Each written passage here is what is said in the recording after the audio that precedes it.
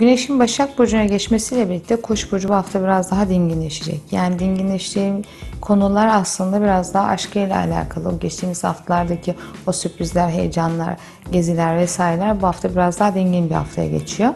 Ee, bu hafta özellikle e, parasal anlamda e, ödemelerle bu hafta itibariyle gelir gider düzeyini geçen geçtiğimiz haftalarda düzenlemişti ama bu hafta ödemelerle alakalı gelecek paraların geç, biriktirdiği paraların yatırımlarını dönüştürme haftası bu hafta itibariyle olacak.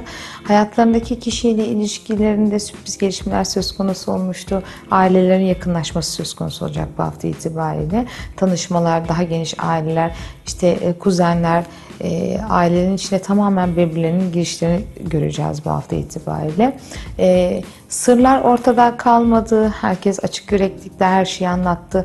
Özellikle aşk, aşk ilişkilerinde bu hafta biraz daha orada daha mutlu olacaklarını, sakin geçtiklerini görecekler. Bu da onlara huzur verecek. Sadece önemli olan konu geçtiğimiz aylarda ya da geçtiğimiz günlerde hayatlarına giren çıkan koç burçlarının, hayatlarına giren çıkan insanların tekrar gündeme gelme konuları. Yani onların mutluluğunu çekemeyen, dışarıda kalmış gibi e, olan kişilerin ilişkilerine zede vermek için ya da yara vermek için bu haftalarda karşısına çıkabilirler.